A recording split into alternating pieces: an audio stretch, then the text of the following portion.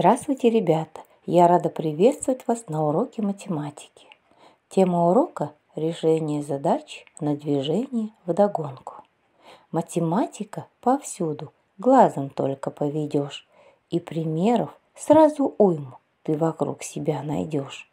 Каждый день, вставая бодро, начинаешь ты решать, идти тихо или быстро, чтобы в класс не опоздать. Сегодня ты будешь решать задачи на движение вдогонку с помощью уравнения. Решая задачи на движение, мы сталкиваемся со взаимосвязанными понятиями. Скорость, время, расстояние. Ребята, давайте рассмотрим схему движения двух тел. При решении задач на движение вдогонку используем понятие скорость сближения. Скорость сближения равна разности скоростей двух тел. При встречном движении скорость сближения равна сумме скоростей двух тел. Скорость удаления равна сумме скоростей двух тел. Рассмотрим взаимосвязь понятий скорость, время, расстояние при решении задач на движении вдогонку. Расстояние между мотоциклистами 50 километров. Первый движется со скоростью 40 километров в час. Второй 50 километров в час. Через сколько часов второй догонит первого? Изобразим движение мотоциклиста на схеме. Скорость первого мотоциклиста – 40 километров в час. Обозначим буквой В1. Скорость второго мотоциклиста 50 километров в час. Обозначим В2. Расстояние между мотоциклистами обозначим S и оно равно 50 километрам. Через сколько часов второй догонит первого? Чтобы найти, через сколько часов второй догонит первого, надо найти скорость сближения по формуле.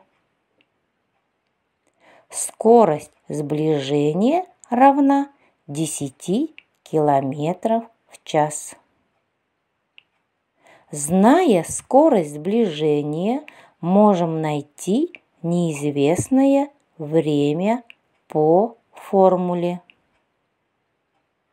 Мы нашли неизвестное время. 5 часов. Ответ. Через 5 часов второй мотоциклист догонит первого. Переходим к следующей задаче. Расстояние между автомобилем и автобусом 60 километров. Автомобиль движется со скоростью 70 километров в час. Автобус 50 километров в час. Через сколько часов автомобиль догонит автобус, если они будут двигаться с такой же скоростью?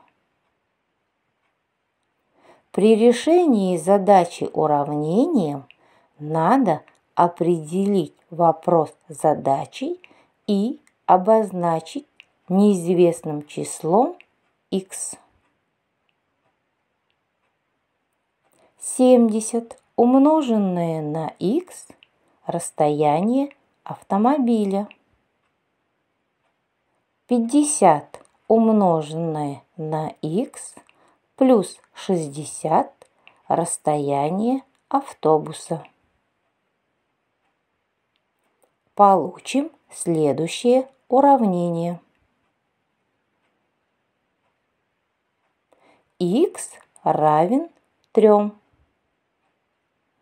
Ответ. Через три часа автомобиль догонит автобус, если они будут двигаться с такой же скоростью.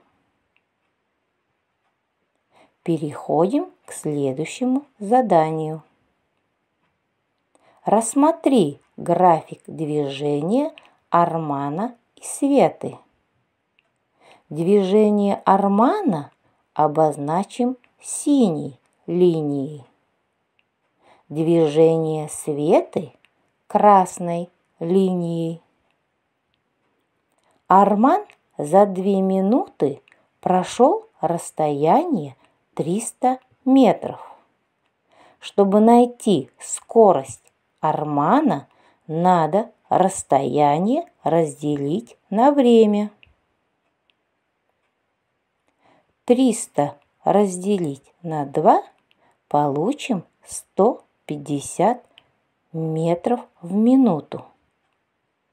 Следующие три минуты Арман отдыхал.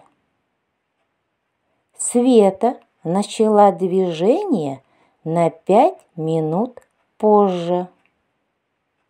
За две минуты она прошла 500 метров. Чтобы найти скорость Светы, надо 500 разделить на 2.